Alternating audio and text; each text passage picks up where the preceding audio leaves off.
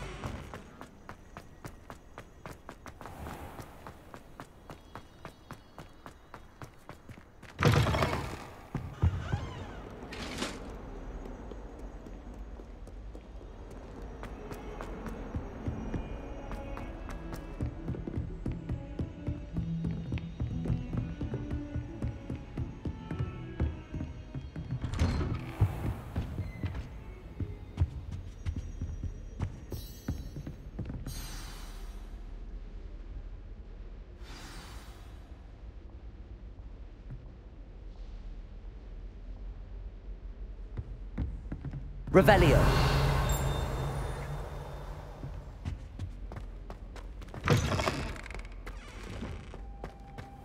You cannot be serious.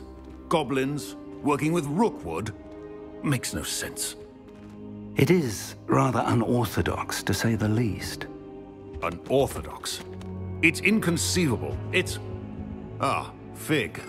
You have a visitor. I'll see what I can find out. Sir, I was able to search the restricted section while you were with Professor Black. It was a book we were after.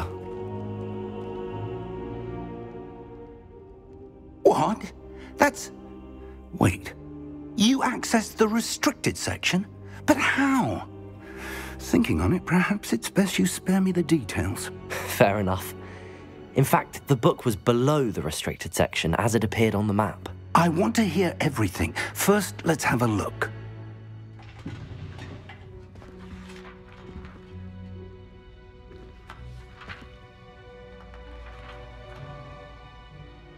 Oh. Oh dear. Some of these pages seem to be missing. It appears someone has got to the book before us. Still, I will need time to study what remains.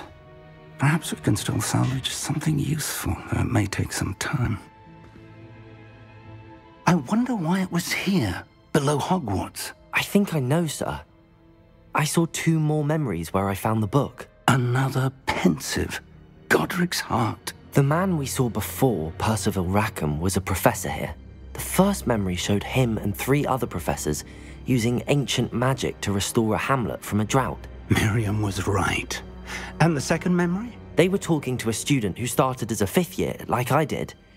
She could see traces of magic too. Why those memories? Hmm. Perhaps this book will explain. Now I'll have to take it with me to London. The headmaster has insisted that I speak directly to the minister about George's death. I understand.